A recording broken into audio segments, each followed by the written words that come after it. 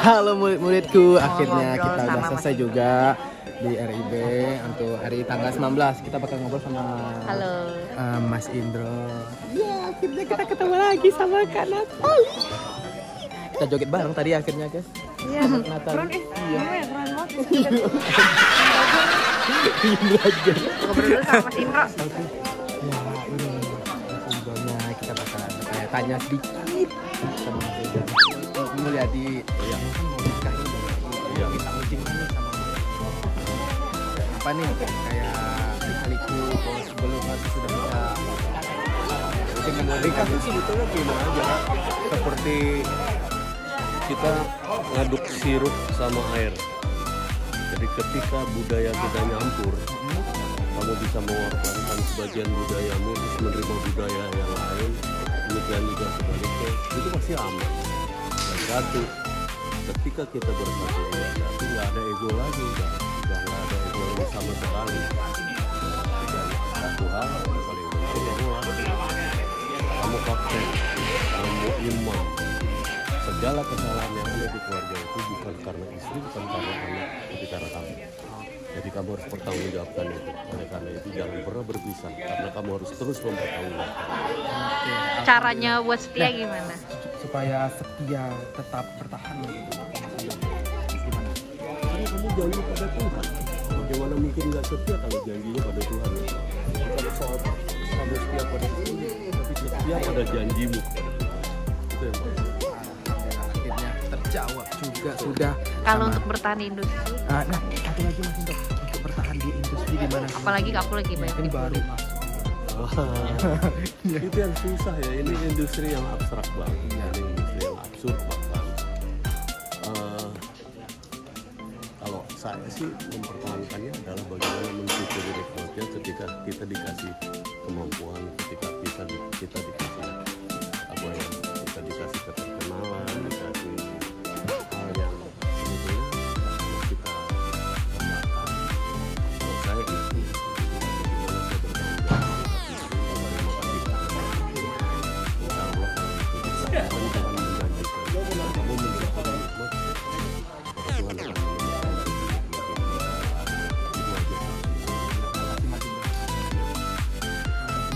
Makasih, dadah. Terima kasih semuanya guys. Akhirnya kita telah dapat wejangan dan uh, nasihat yang sangat bermanfaat dari senior di industri Indonesia guys. Terima kasih. Halo juga.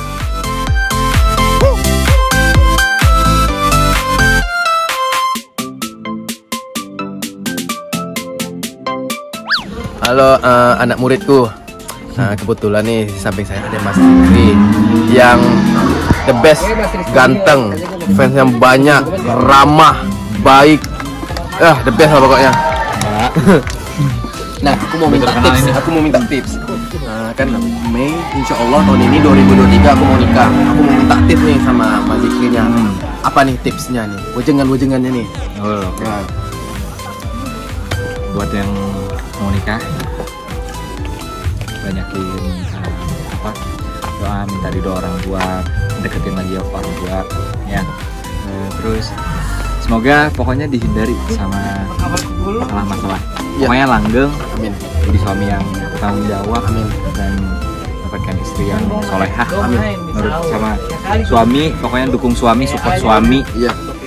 dan semoga kerjanya makin lancar habis nikah rezekinya makin banyak amin, amin. diberi keturunan makin gokil rezekinya amin Alhamdulillah. Kalau soal diselingkuhin gimana nih kak? waduh kalau diselingkuin nggak tahu ya kalau itu hmm, menurut pengalamanku mungkin watak kali ya selingkuh tidak bisa dihindari kalau emang orangnya punya niat gitu ya ada kesempatan tapi dia nggak niat nggak terjadi tapi Iya. ada kesempatan ditambah ada niat pasti jadi gitu jadi nggak ada maaf sih buat orang selingkuh kalau saya. Iya.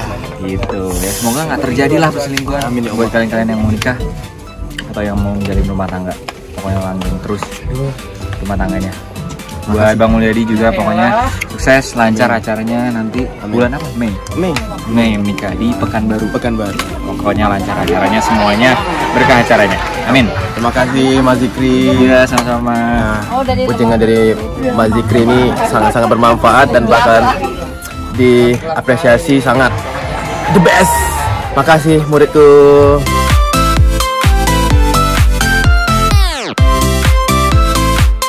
Halo anak muridku, akhirnya kita ketemu. Siapa Kak Oli? Nah, ini kebetulan nih aku kan mau nikah nih Kak Olive. Aku mau minta ujangan nih sama Kak Olive. Aku tahun ini Mei itu bakalan nikah. Alhamdulillah. Ah, Alhamdulillah. Aku mau minta ujangan dari Kak Olive.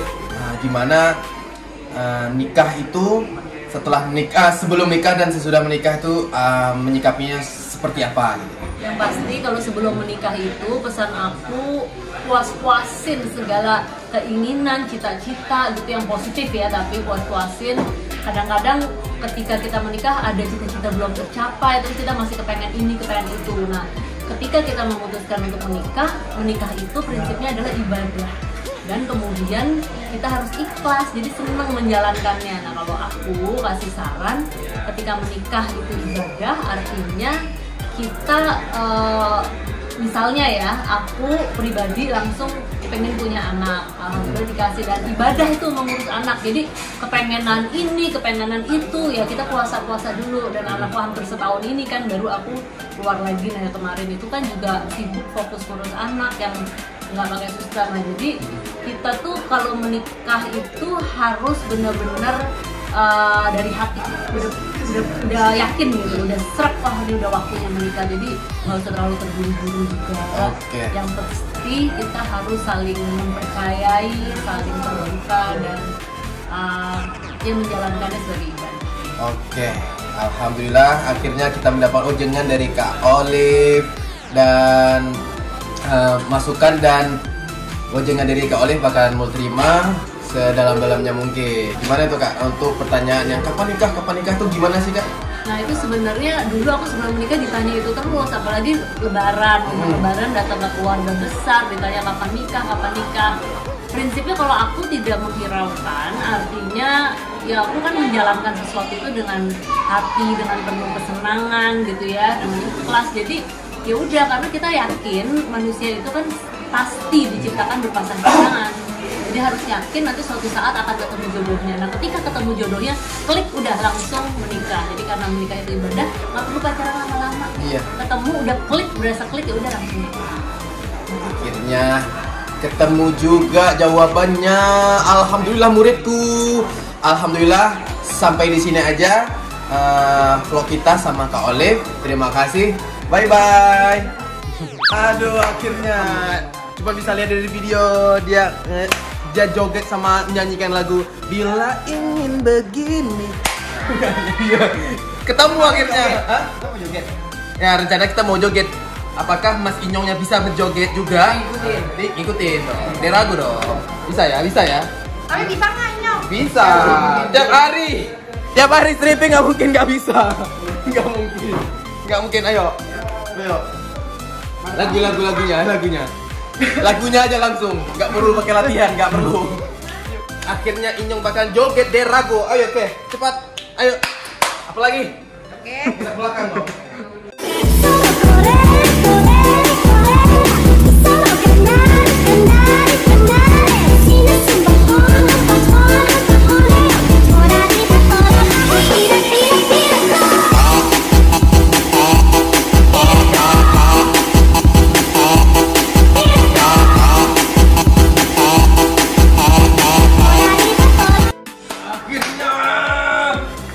Akhirnya bisa juga dia. Tiap hari ketemu nggak mungkin nggak bisa. Eh, Mulyadi, Iya. lu kalau dibilangin ngaca sama orang tua aja ngelawan lu, Iya. maka lu melototnya udah kayak burung kobra, eh burung kobra, ular kobra, ini Iya, iya. syukur, ini syukur udah Oke, kobra. Udah kayak buntut kuda, Iya, iya. kalau gue ngati di melotot melotot aja, ada orang itu, Iya. ih, kalah. Kasih ujangan nyok, dia mau nikah nyok. Oh iya, saya doain biar Mas Mulyadi sama calon istrinya bisa menjadi keluarga yang sakinah, mawadah, warahmah, banyak rezeki, panjang umur, sehat selalu, pokoknya karirnya makin Amin. mantap lagi. Iya. Bener nggak? Iya. Ngomelinnya kayak tadi nyok. Iya. Iya. Emang kayak gitu deh. Habis gue udah omelin, omelin tuh, omelin aja, omelin, omelin. Iya, oke, thank you, terima kasih.